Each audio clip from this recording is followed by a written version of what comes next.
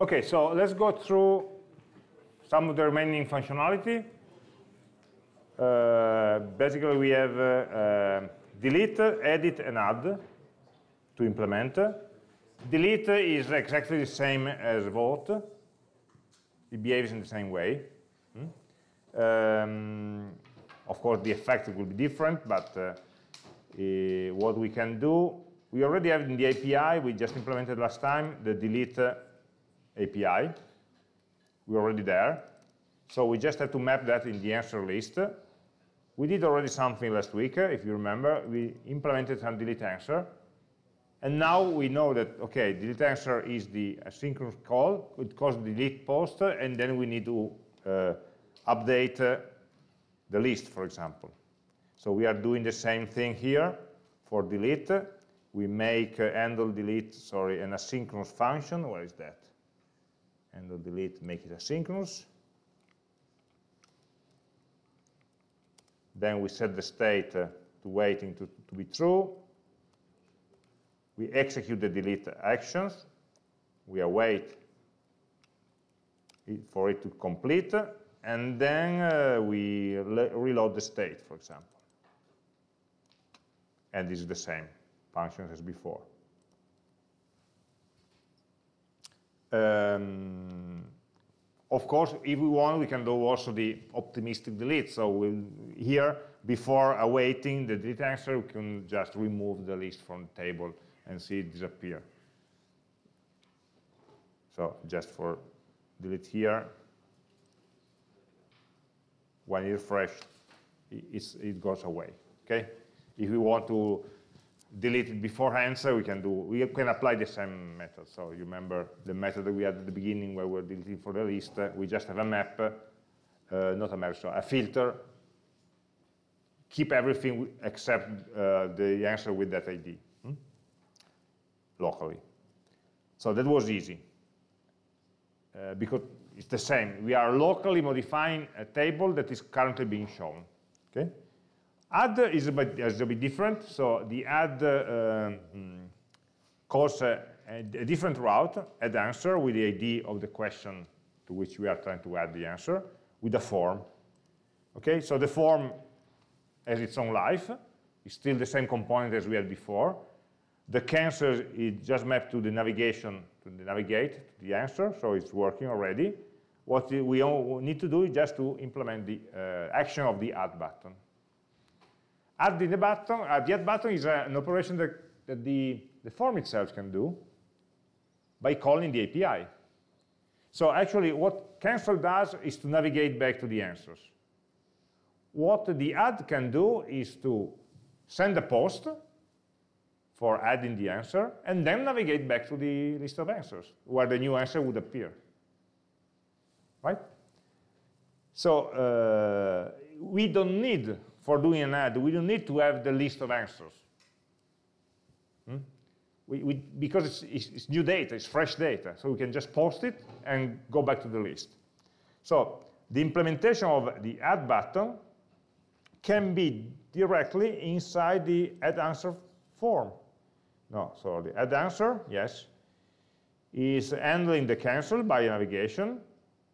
And uh, handle add was initially doing some uh, add the answer to the parent component. We, not, we must remove this because we, it doesn't exist any longer. And what we can do is to make something like, of course, uh, this will be asynchronous, something like await uh, for something like a function like add the user, add the answer, sorry, from an API somewhere that should be implemented in the API, and then navigate. I input in this await here so that I don't navigate back to the list until I'm sure that the um, new answer has been added to the database. Otherwise, the risk is that I'm going back to the list and they refreshing the list before the, the old one has been loaded.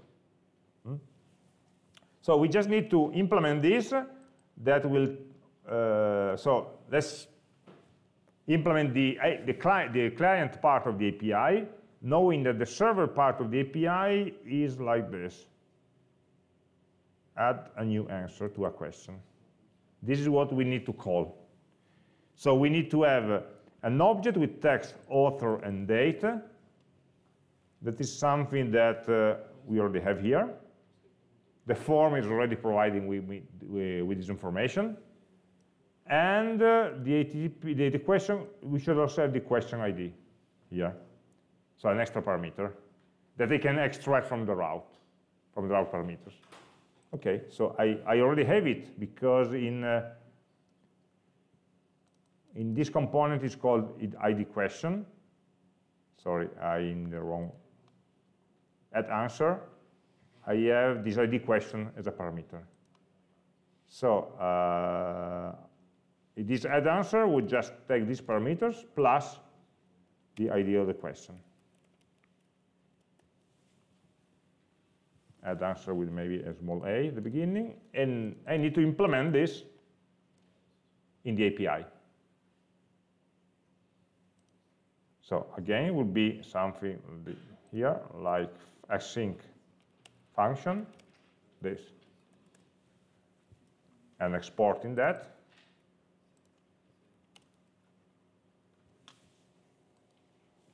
So in this case, we have to make a post. So we can reuse, in a way, the code for the post uh, that we have here for voting. Yep, this code. We only have to modify, of course, the parameters and the body content. So, but, but all the structure is the same. Uh, add answer. Uh, I, do you already have one in line 55?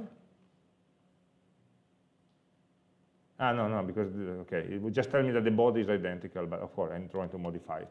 So the URL is just as already, is questions, not answers right? Is it? Questions, question ID, ans uh, answers. Questions, question ID, answers. Questions, ID question. Oh, sorry, ah, yes, ID.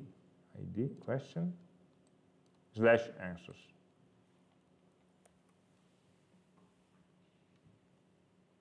So this is the URL, post, JSON, and now I need to provide an object that looks like a new answer that contains, uh, let's pick the example here.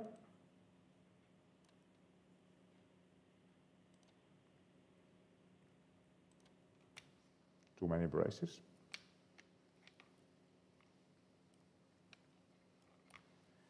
So the text, the author, and the date now can be taken from the parameters. Text, author, date, uh, just be careful because date, we have this problem that we never know whether date is a string or a, uh, or a, or a um, day.js object. Hmm? So uh, let's see how it's handled here answer, uh, in the form, where is that? The answer form, data is uh, a string. Because it's okay, it's just a string, which, which is okay for setting that into the API. Okay, I was wondering here if I should write data because data is already a string or data dot to ISO string if it were an uh, day.js object. Uh, but from the code, the, from the form, it just uh, it comes out as a string. So it's already what I need here. So this is the add answer that I need. And uh, is it done already? So I can enter some text here, some author, click on add, and it doesn't work because product answer is not a function, so I forgot to pass the, I forgot to save the file, first of all.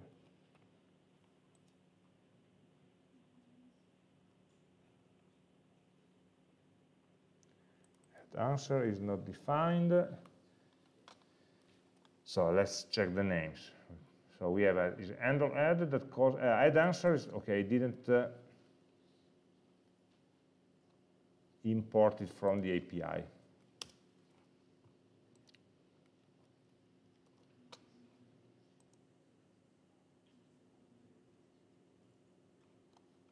So let's try again.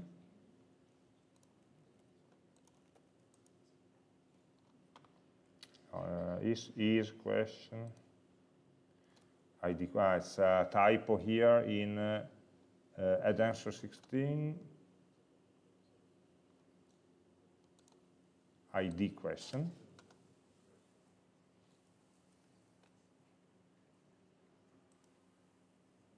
Okay something is happening. So there was there's some typo here and there but then I go to add I change the date uh, to you know, 6th of, May, of May, A, B, C, D, X, Y, Z, add. We are waiting for the post, we are waiting for refreshing this, and then the new answers here. So add, delete are working properly.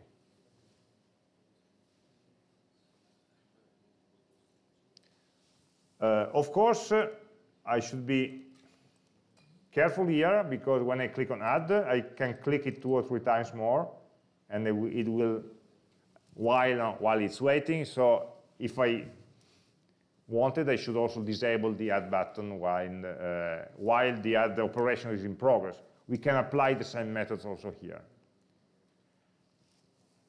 The important thing is that uh, we are doing the navigate, so going away from the form only when we are sure that the operation was correct. So in this case, we didn't have any check, but uh, imagine that an answer could fail for some reason. Maybe you didn't provide uh, the author or the text, or the text is too long or too, or too short or something like that. So what you want to do is to be able to provide an error message and give the user a chance to correct its error while he's still in the form. So don't destroy the form until you are sure that the data has been saved. If there's something wrong, I, I didn't add a try-catch block here, but of course you should do that. You should check the result, and uh, if there's something wrong, we are still in the form. Until we navigate, we are still there, and we can still recover any kind of error. Uh, some errors can be due to local validation, and that's okay, or some error can, do, uh, can come from the server. So you're sending the post, and while the post is working, you, you, you, you sit tight. You stay there, stay there, don't go away. You cannot be too, opti too optimistic here, because if there are some errors coming, you don't want to lose all the data that the user entered. Give them the chance to correct and click on add a second time. Okay? But this is just application of the same method. Sometimes uh, you can't afford to be optimistic because you would lose some some users work. And uh, so this await here is the most important uh, word in this file. Hmm? Okay, and um, about edit. Edit is a bit more, was, has always been a bit more complex. Let's just remember what we are doing in the case of edit. Edit uh, uh, calls as, uh, works on a separate route that takes an idea of a question and an idea of an answer. And uh, um, edit answer gets a parameter for the moment uh, with some questions, or with the list of questions. The edit answer component is a new component that enters, okay, enters the concept, the, the cancel very well. And it can do, well, the point that we need to check are two to correct. One is the, edit action itself. But it would be more or less the same as, as the add. Make an API that calls the server, and that's it. So here, you should write call API, and then navigate. That's the easy part, in a way. we have the data from the form, we just call the API. The more complex part is the initial value of the form.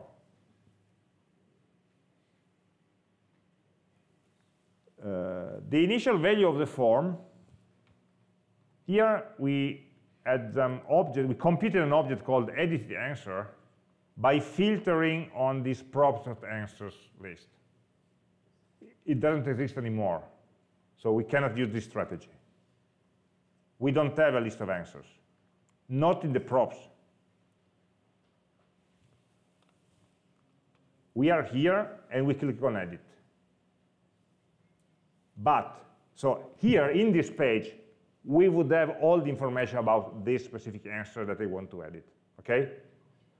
But the edit answer component is not a child of this component. So this component cannot pass the data there. It's being called by the router. Uh, edit answer is a child of app. App doesn't have the, the list of answers in, the, in its state. Okay? So we have a choice to make here. Either we want we make this element, edit answers, as a child of uh, answers list, then we could pass the answers that need to be edited, the information about the answers. So we need to modify the routing. We should have a nested routing, some routes defined at the top level and some routes defined inside the um, answers list. That could be an option. And then I have my child and I can pass the information that I want to my child. I create the form for editing as a child. So basically, we would have app that renders uh, um, answers list that itself renders the form as a second level child, just to have access to this, to the information about the, the, the answer. The other possibility is try to give this information through this component uh, through the navigate functionality. Let's go back to the edit button. The edit button is uh, uh, in the answers list somewhere when we click the edit button, okay, we have some, okay, edit button here, I'm calling some uh, handle edit function. Handle edit from the answer row comes from above, comes from uh, uh, answer details, which comes from, again, our answer list here, answer list, renders answer details by providing the handle edit function. So when I click on the edit button, what the handle edit is doing is just uh, navigating away. Okay. There's an extra functionality of the router that we didn't discuss when we talked about the router, uh, of the navigate uh, um, method, that can have a second parameter. A second parameter is an object that is stored in the location history, in the history location, in the location object. The browser, this is a um, mechanism native to the browser. It has nothing to do with, with React. The location object, window.location, contains a subproperty which is called state. So when you click on a link, and basically you are changing the location of the browser, you can set the state of this location so that the future page can receive some information from the previous page. So this could be a nice thing to do here. I'm here, I know all the, about that, this specific answer, and I want to give you this information by navigating to another page that can recover that information. So uh, in the navigate uh, method, I can have a second object, which is uh, an option object with, in particular, one state problem. It may have different properties, like uh, save this uh, navigation in the, in the history, don't save it, or something like that. But these are details. What we are interested in is the state property. So when we navigate navigating, we can send an object with a state property. This state property may be any JavaScript object, which is serialized as a string and is available to the target page. The target page can extract this information. So this is useful if you want to transfer information from one page to another through an, an internal navigation in the router. It's not a state in the React sense, okay? It's just some local information that is only valid in that specific link. If you refresh the page, uh, that information is lost. Okay? If you go to, to navigate to that page with another link or another method, it doesn't work. The state will be empty, only if you pass it through this property. And so we can put here the information about the answers to be the answer to be uh, updated. So we can put, for example, the answer object here. Uh, the current answers to be edited. So we have the ID only here. Uh, we can uh, filter the list of uh, answers with, the, with this ID. Okay, we can return, we only, we don't need to send the, all the answers, only that specific answer that we need to edit. So we can add the answers, filter, where the a, a.id equal to id,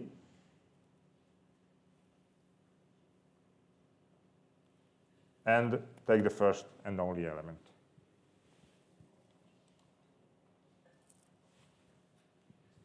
Okay, so I have all the answers here. I have the ID of the answer I want to delete. Let's extract that specific object from here.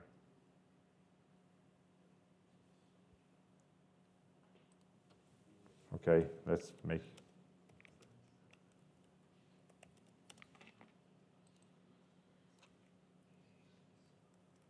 because they want to modify it later on. Okay?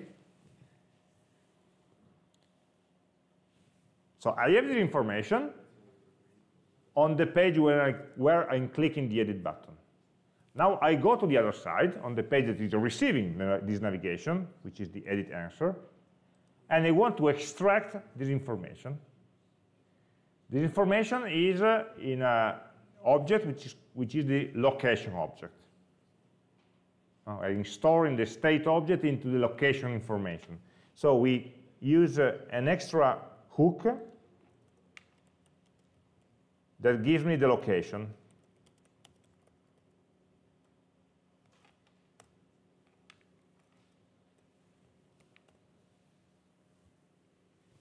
Okay. Uh, the React router has this uh, use location hook. Right now, we have this location object that may or may not contain the state. Of course, it depends. uh, we need to check because it depends whether we navigated by giving a state object or not.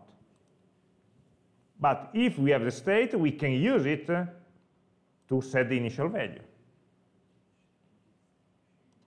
So we can say that if, uh, uh, for example, location.state exists, then uh, we can define uh, the initial value. So we have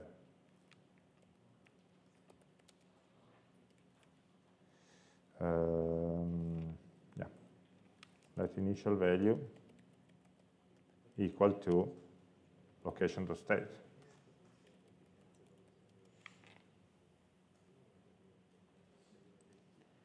So it's a problem here because the value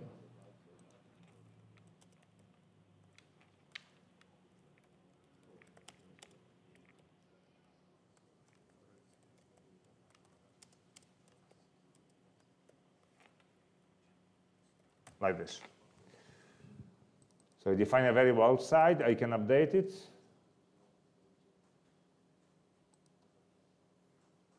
And uh, uh, I can edit answer. No, sorry, I edited answer. so that I use the same value. And I remove this. Okay. So let's see what is happening.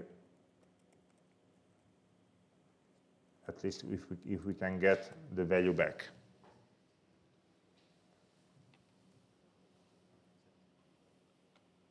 Right, so let's go back to the form and click on edit. Edit will navigate to the, to the answer by giving this state object.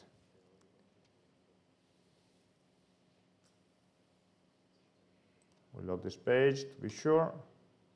Click on edit. Okay, of course something is wrong, but product initial value is undefined in the answer form. Yes or not. Uh, undefined, undefined, yeah, okay.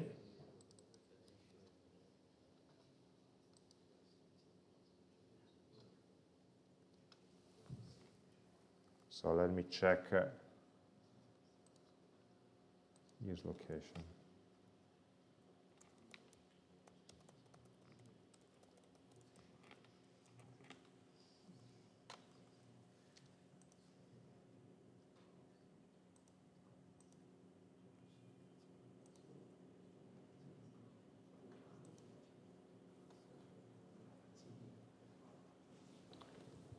Uh, object path name search hash state null. Uh, so they, they, did something wrong in passing this state. So that's why it's wrong here. Uh,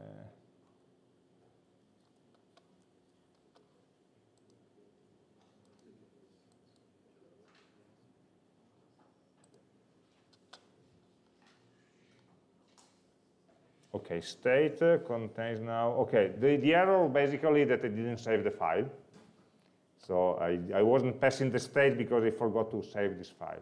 So actually this it was correct, and we see now in the console that I'm receiving a state object that contains uh, information about the answer. Okay? Now, later on, there are some errors Initial value.date.format is not a function. It's again day.js, which is biting us. Uh, it's, it's come from the answer form itself, line 8, answer form. We didn't modify the answer form because it's, uh, it expects initial, uh, the date of initial value to be a day.js object. And right now, it's just a simple object with a string value. Um, one limitation of this mechanism of, of passing an object is that uh, the object is, uh, by the browser, is serialized as a string. So any more complex object will be downgraded to a simple string.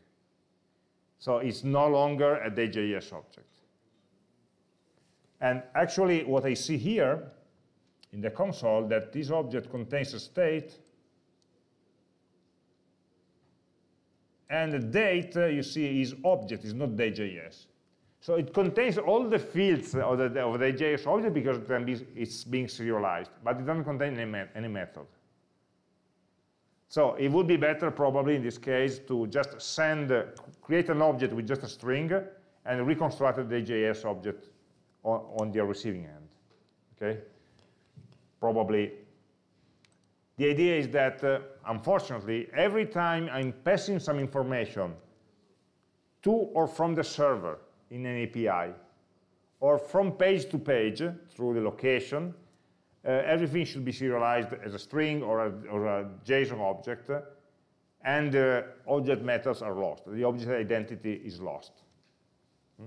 It's a pity, but there is not a normal function call where I can pass any kind of object. It's something that tries to coerce some object into just a text uh, representation. So we should be aware that on the other hand, we don't have the object, we only have the, the, the text. Uh, so it requires some work from us. So when we send uh, the state, where is that? Here. I shouldn't send a real object, but uh, just uh, an object with the date. So let's modify it.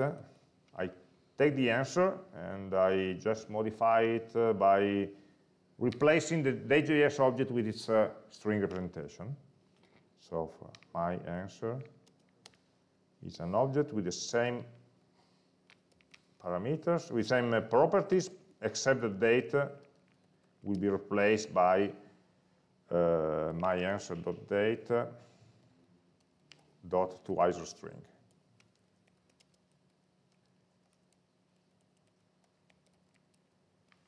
And it should be half of the word.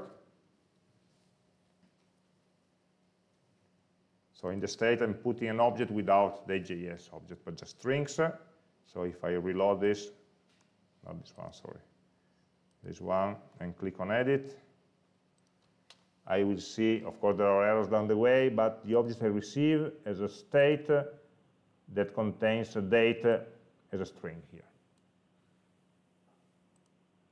And now I need, on the other hand, to reconstruct an answer object with the proper values from, from the location state. So edit, if we have a location state, then the edited answer should be a new object with these parameters. Maybe we can use a new, uh, like edited answer, new answer. We can use the constructor with the ID, the text,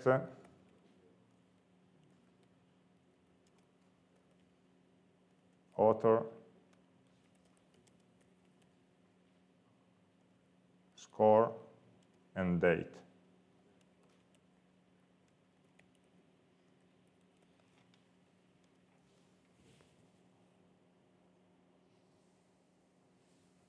So in this case, we should have, again, an answer object, and the form should be able to work on that. Yeah, it does.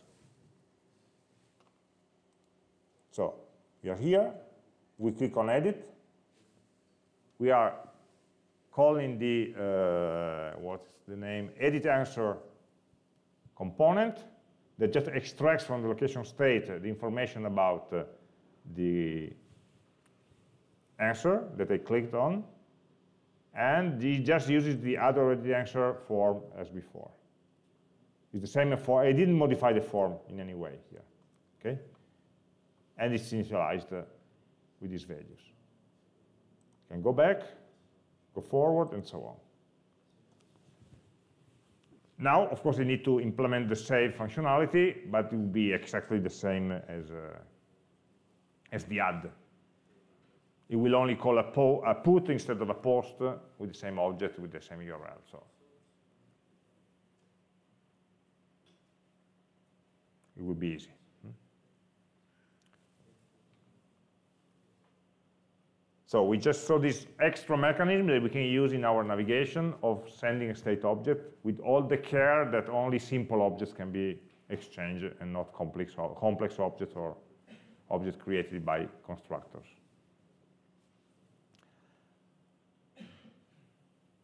Okay, I will uh, implement this uh, extra functionality, the put, uh, and give you the code in the, maybe by tomorrow or something like that, we complete the exercise.